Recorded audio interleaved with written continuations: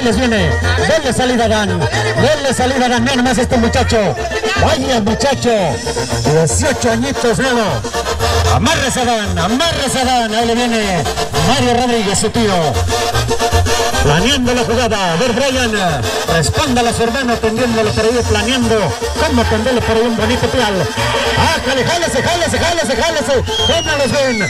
Estos hermanos Rodríguez, pues les decía, no por nada se trajeron el primer lugar y lo van a seguir haciendo. Vean más, sin yo pedirlo, ahí está el aplauso, la respuesta del público. Vaya, vaya forma de jugar.